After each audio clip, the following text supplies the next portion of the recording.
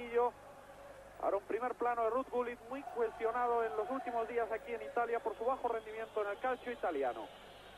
Hoy se tiene que decidir definitivamente quién va a ser el supercampeón de Europa. El pasado año consiguió este preciado galardón el Milán al imponerse al Fútbol Club Barcelona. Ha comenzado el encuentro, prácticamente era el mismo desplazamiento para unos que para otros. Se juega aquí debido al mal estado de San Siro.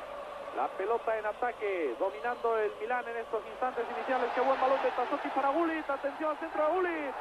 Entraba Agostini al remate, no llegó. Tampoco Carbone. Finalmente Mijailichenko ha conseguido recuperar la pelota y posteriormente la falta de Carbone sobre Bonetti. Vean ahí la repetición, no llegó y en Bolonia aproximadamente media entrada para presenciar este encuentro de vuelta. La ida se jugó a mediados de octubre en el estadio de Génova, donde habitualmente juega sus partidos la Sampdoria.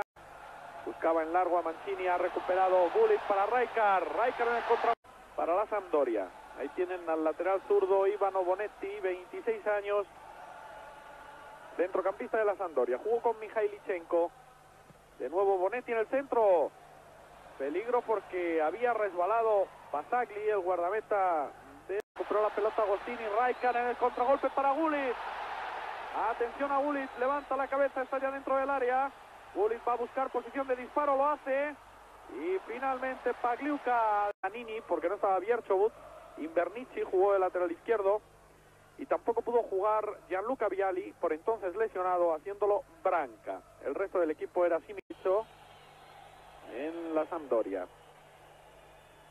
Balón largo, Lombardo en el remate. No ha llegado. Queda la pelota todavía para Bonetti.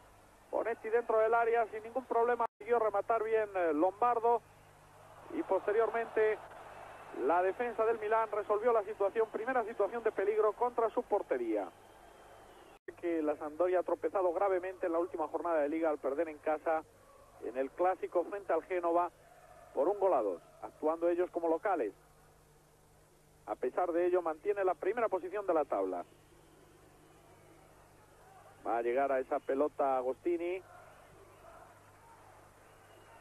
que de alguna manera se ha convertido en la posibilidad que ve a Rigosaki para sustituir a Marco Van Basten. Podía haberlo hecho Masaro, que no está.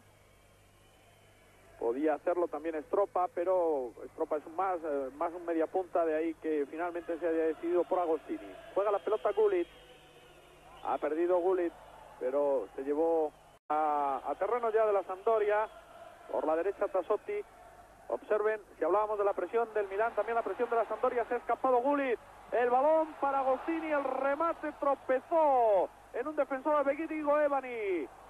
Y de nuevo Pellegrini ha puesto la pierna. Qué gran ocasión para el Milán. Sigue el peligro. Qué bueno el quiebro de Gullit. Busca la línea de fondo Gullit. Metió Bierchobut la, eh, la pierna. Y es saque de esquina para el Milán. Se levanta. Ya está jugando el lateral izquierdo Bonetti. Mijailichenko va a perder. Recupera Raikar. Raikar y Gullit. Atención a Gullit el disparo. Tropezó en la pierna de Pellegrini. Esto pudo despistar a Pagliuca. Tassotti vuelve a insistir buscando a Gullit. Se anticipó Bierchobut, su marcador hoy. Paolo Maldini. Se va de Lombardo, deja para Gullit. La vaselina de Gullit tropezó. Está de alguna manera tapando huecos hoy en estas subidas de Evani por la izquierda. Y a pesar del mayor dominio del Milán, creo que estarán conmigo que la Sampdoria es un conjunto disciplinado por algo va primero en la durísima liga italiana. Trabajando todos sus hombres y el Milán. Al ganar Copa de Europa y Recopa el pasado año, con toda seguridad, esta edición del año 90 será para un equipo italiano.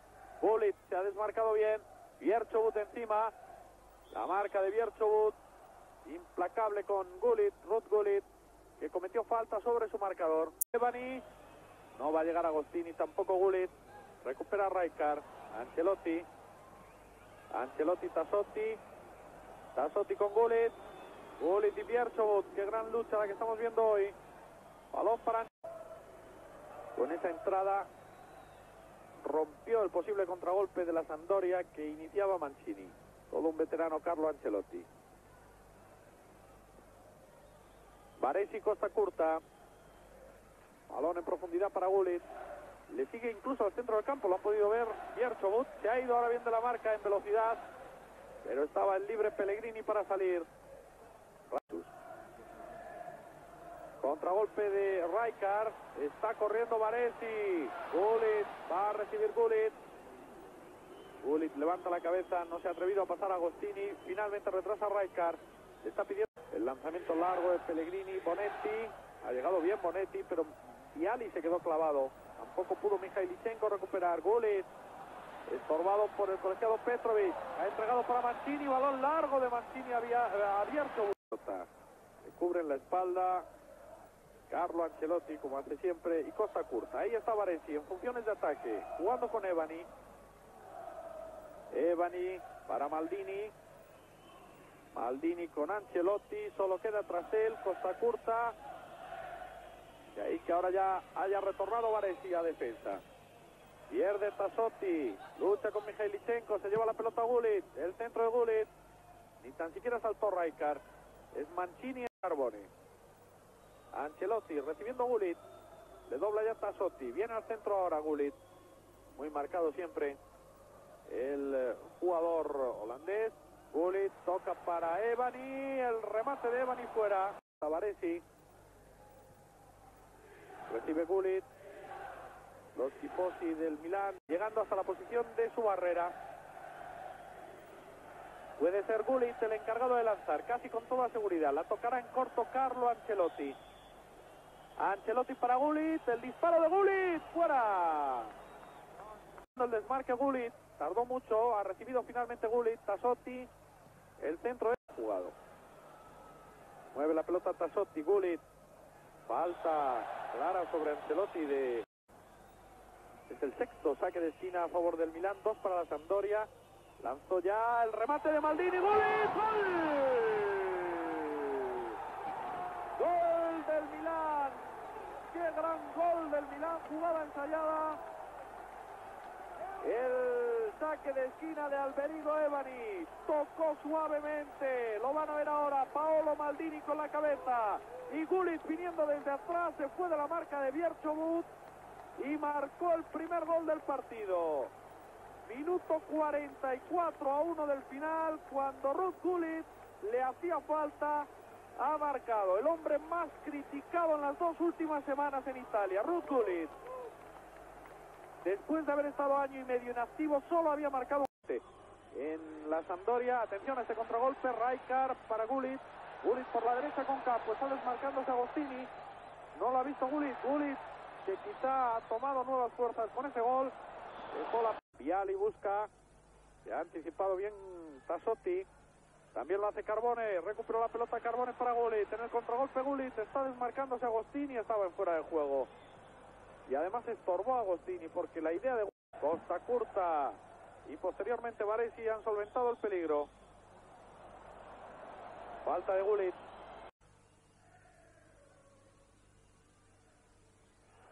Gullit, Gullit dejó, balón que hace, ha recuperado Tassotti, Raikar, se hace un lío la defensa. Raikar para Gullit.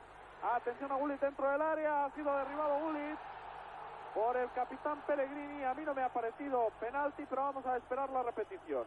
Nos ha pillado justo en la portería contraria a nuestra posición de comentaristas. Toca lo justo la pelota Gullit y puede que sí, que haya penalti. Ahora lo vamos a ver mejor en esta toma.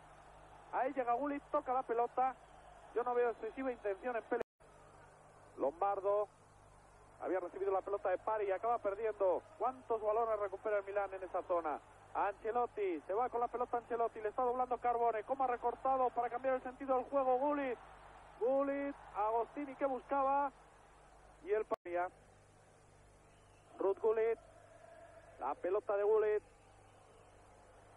buscaba a Evani, se ha anticipado el incansable Pari, Hombre fundamental en el centro del campo. Hizo la pared en corto con Viali. Busca a Lichenko.